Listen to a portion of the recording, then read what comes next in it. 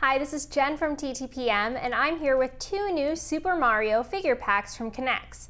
Here we have the Super Mario 3D Land Boomerang Mario, Koopa Troopa, and mystery figure Boomerang Flower and the Super Mario Bros. 2 Golden Mario, Fire Luigi, and mystery figure Golden Bullet Bill.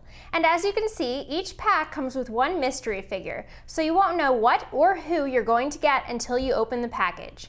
These figures are buildable and collectible. Each figure splits into three pieces, so it builds easily and it offers tons of imaginative play. The figures also feature the character's classic and iconic details, such as Mario's boomerang, which can be placed in his hand.